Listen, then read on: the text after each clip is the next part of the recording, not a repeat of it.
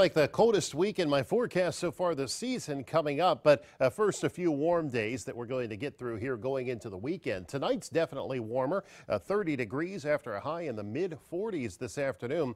We started this morning at 16. I'm not expecting that uh, tomorrow morning. Let's get a look at those temperatures right now across uh, the area and into your backyard uh, across eastern Ohio to western Pennsylvania. Some spots have dropped into the lower 20s already, and that does include Austintown, uh, 24 at Center and Columbiana, but still 30 at the airport. We're 33 uh, here at the station in the city. So uh, some of those lower valleys will get a little cooler tonight, uh, dropping toward that 20 degree mark, at least for a brief period. Here comes the clouds across central Ohio. Uh, these will help blanket those temperatures overnight. So I'm not expecting lows to get too much colder out there. Uh, the storm system that's going to bring rain tomorrow still out to the west in the Midwest, uh, throwing some showers across Illinois and Indiana. That's the first storm system for the weekend. The second one still off to the southwest tonight, moving through Arizona and New Mexico. This is the weekend storm that's going to drag some cold, blustery air behind it. And the latest models on this storm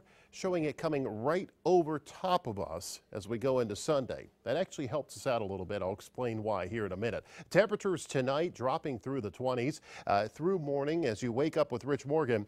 A lot of clouds around. Now, as we go through the morning, there's a small chance uh, for an isolated sprinkle or a light shower to make its way through the dry air. And if it does, uh, temperatures below freezing, at risk for a little bit of freezing rain first thing. But the heavier rain moves in later in the day, and that's when temperatures warm up. So we're going to continue to warm up into the 40s tomorrow afternoon. As some showers around through the afternoon and evening, uh, less than a quarter of an inch in most spots tomorrow evening into tomorrow night, where there's still a chance of a rain shower around.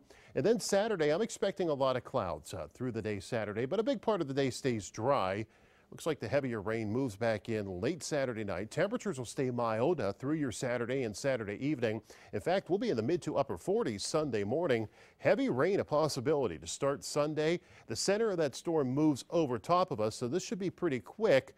And then it changes over to snow. Get a little break midday. Here's a look at noon, but watch these temperatures crash as we go through the afternoon and that storm pulls on out. 6, 7 o'clock snow showers blowing and a wind out of the northwest. that could be up to 30 plus miles per hour, so a blustery, snowy end uh, to our weekend. 24 tonight, a few clouds around. Uh, temperatures tomorrow climbing into the low 40s. Showers developing, a very tiny chance for an isolated pocket of freezing rain in the morning.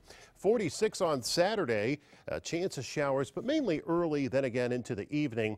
Rain heavy into Sunday morning, windy, changing to snow. Could see an inch or two into Sunday night of slushy snow and cold temperatures next week. 23 for a high Monday, upper 20s Tuesday, snow returns Wednesday. Cold, though, right through next Thursday.